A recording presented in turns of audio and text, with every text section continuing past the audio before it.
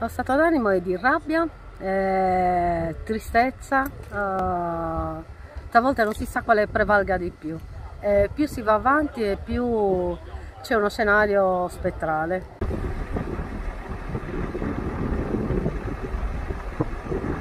Quanto territorio ha bruciato? Ma non lo so perché è un po' a macchia del leopardo, ha saltato in diversi punti, ma io sono sicuro più di 200 ettari di bosco. Eh, maggior parte sono sugherette, le ha, le ha danneggiate seriamente. Anche di privati immagino? Sì, sì, soprattutto di privati. La maggior parte del territorio del paese è di privati. Quindi c'è una produzione anche che è stata distrutta, produzione olearia? Eh, per quanto riguarda la produzione olearia sì, diversi oliveti sono stati attraversati dal fuoco, quindi distrutti totalmente.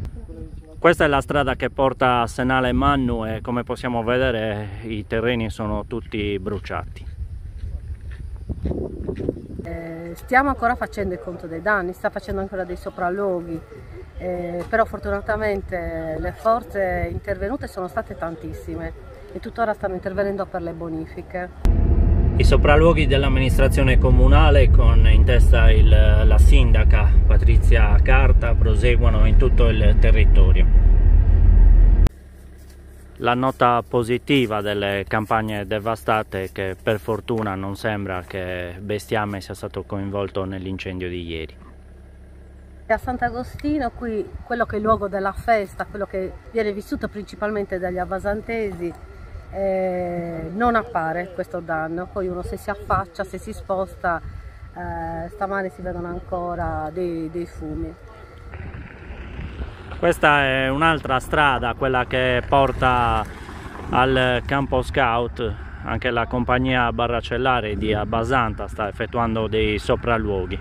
La situazione al campo scout come? Allora, stava nella sede scout, i ragazzi hanno dormito, sono stati ospiti presso il CAIPE e stamattina stanno prendendo tutto per, per andarsene. E qui siamo all'ingresso della base scout San Martino dove ieri appunto c'erano i 48 ragazzi che sono stati fatti evacuare per eh, sicurezza. Siamo stati subito allertati dalla protezione civile e dalla forestale eh, per incominciare a preparare l'evacuazione e metterci sulle vie di fuga. Quindi noi abbiamo mobilitato dai più piccoli ai più grandi per riuscire a metterci in sicurezza eh, e poi grazie al dispiegamento di tutte le forze dell'ordine e il comune di Abbasanta che ringraziamo tantissimo eh, siamo stati ospitati presso la scuola di addestramento della polizia eh, abbiamo passato la notte lì eh, e adesso oggi ritiriamo tutto e torniamo a casa e comunque è stata un'esperienza mm, estremamente formativa per tutti noi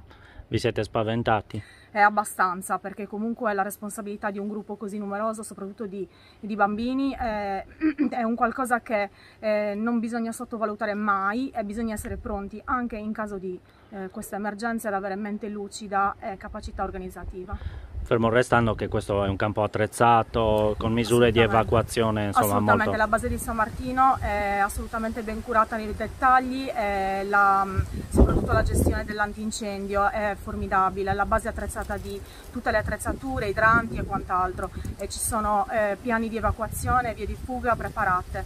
Quindi assolutamente eravamo in grado di eh, stare alle, eh, dietro all'emergenza. Eh, poi l'importante alla fine è che tutto si concluda comunque eh, con, eh, come un'avventura, i bambini hanno comunque un morale alto, hanno affrontato tutto nel migliore dei modi col sorriso.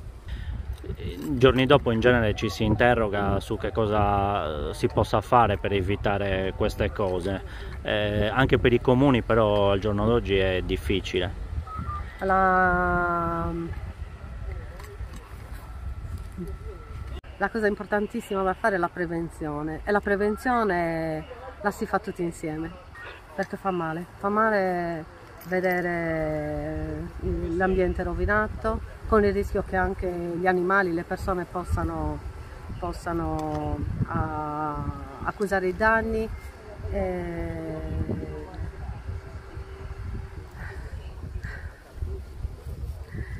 C'è tanto. C'è tanta rabbia tanta rabbia.